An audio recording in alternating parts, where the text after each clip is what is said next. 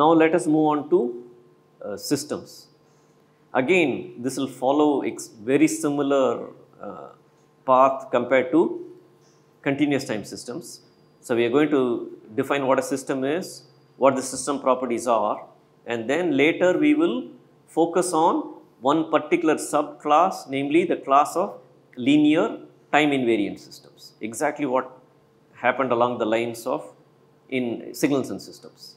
But there you focused only on continuous time systems. Now we will focus on discrete time systems and in LTI we will again revisit convolution uh, quickly. It is very similar to continuous time convolution.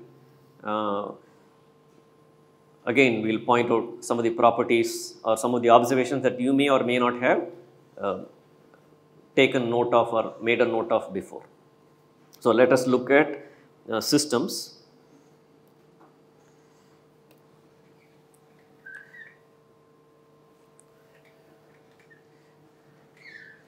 So for this topic and uh, LTI systems, I have a set of slides which I will go through, but since this parallels uh, what you have learned before, to see the similarities and if there are any differences to note them down should not be very difficult.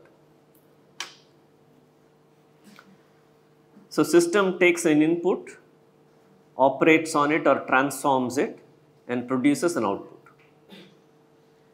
And in typically uh, this is represented as a block diagram as x, the system is represented by an operator t and y equals t of x is the output and the notation x is general. It can either stand for x of t or x of n based on whether you are looking at CT or uh, DT systems.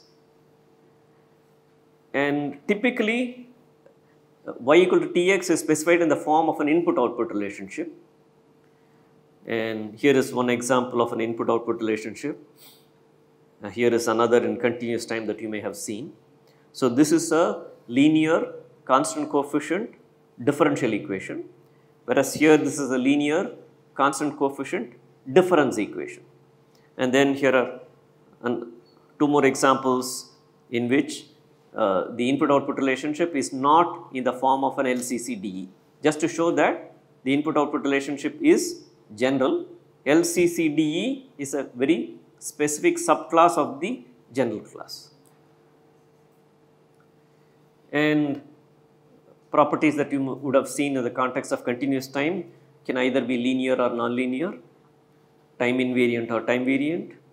By the way, time invariance is also known as shift invariance. So, LTI or LSI, linear shift invariant systems is another common terminology and system can be causal or non-causal, memoryless or non-memoryless. Memoryless systems are also known as static systems.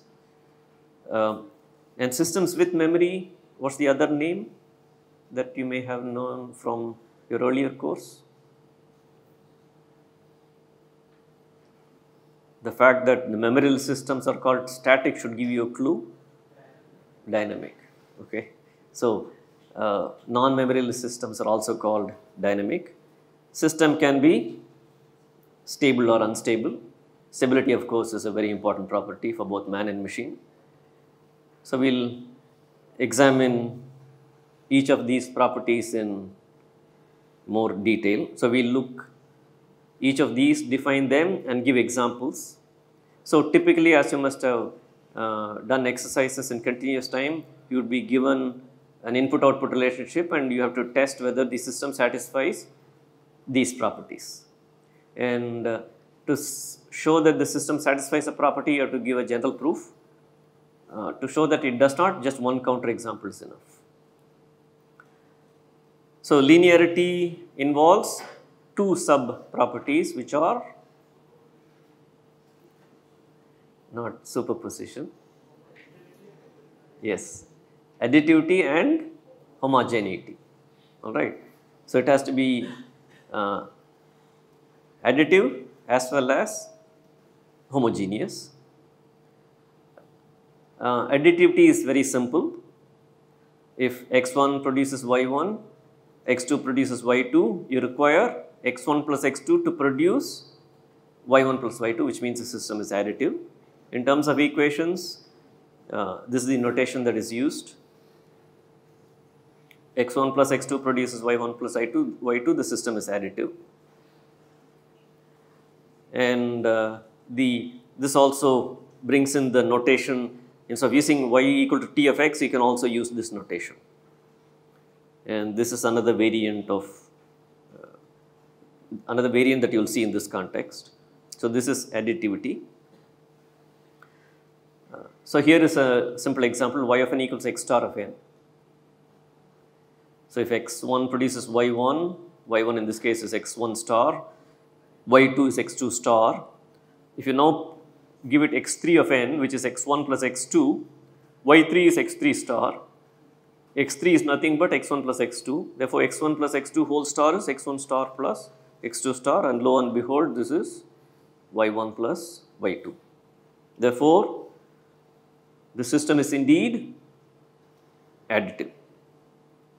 Okay, so here's an example of a system that is additive.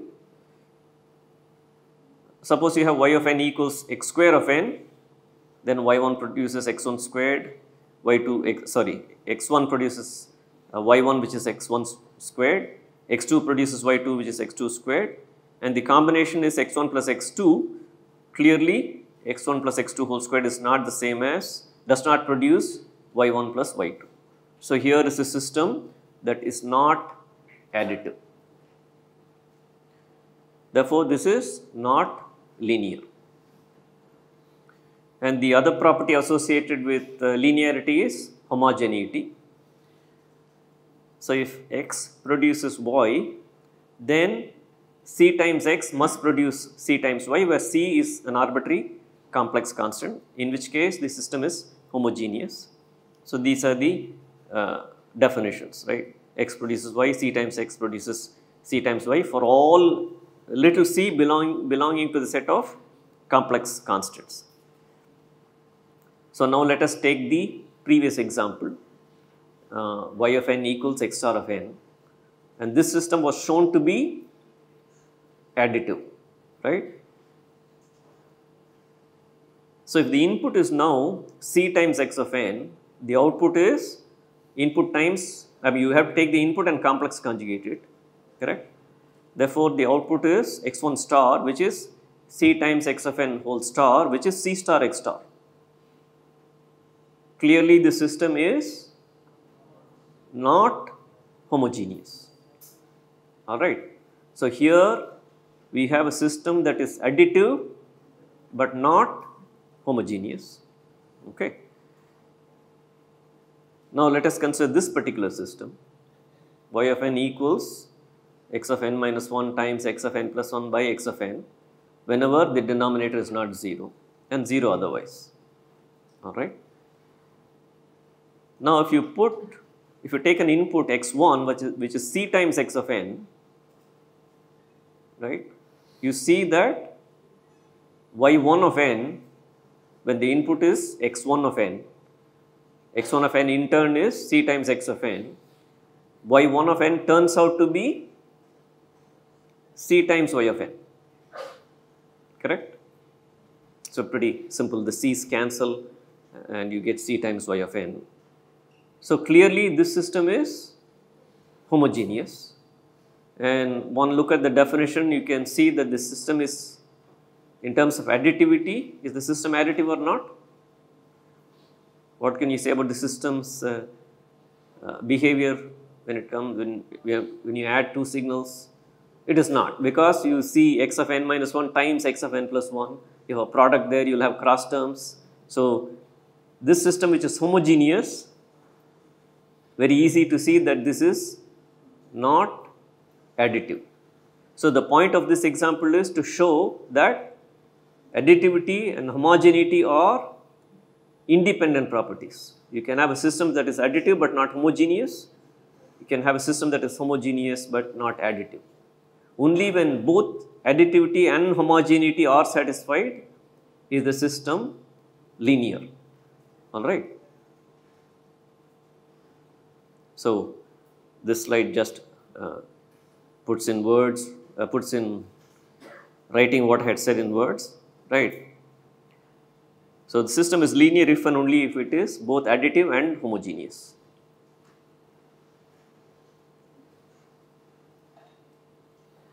And uh, somebody said superposition.